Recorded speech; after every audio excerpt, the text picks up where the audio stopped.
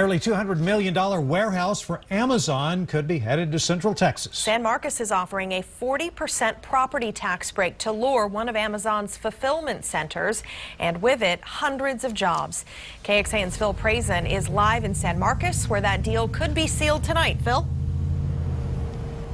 Well, in just a few hours, we'll find out if Amazon.com will be moving here to Hays County. According to public records, what Amazon would get is big tax breaks, and they'd get more if they were successful.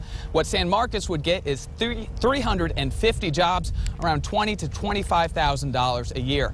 This is just another example that San Marcos might not be the sleepy little college town that it once was. Okay, so how many people are going to be living? Cody Lewis has a front row seat to the growth. Working at Apartment Pros, he says the last few years he's seen rent prices steadily rise all over the town of 60,000 people. San Marcos itself is in between Austin and San Antonio, two of the biggest cities in the nation, so that's where the jobs are at, that's where people are moving.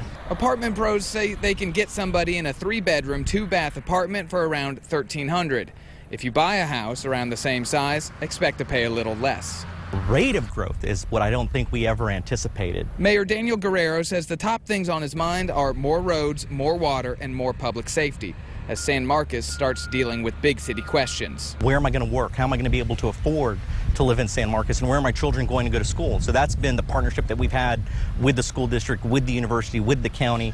He says encouraging the building of more single family homes will help in a city that's already flush with apartments. There's a lot of new apartments that have been built within the past couple years. And new homes and new businesses in a city with no signs of slowing down. And call me. Yeah. This is the third year in a row San Marcos has been ranked the fastest growing city in the country with more than 50,000 people. And find out what happens here tonight at 9 and 10 on KXAN News. Live in Hays County, Phil Prazan, KXAN News. And one job search website gives you a closer look at the jobs at the Amazon warehouses, also known as fulfillment centers. According to Indeed, the average worker at an Amazon fulfillment center earns almost $12 an hour.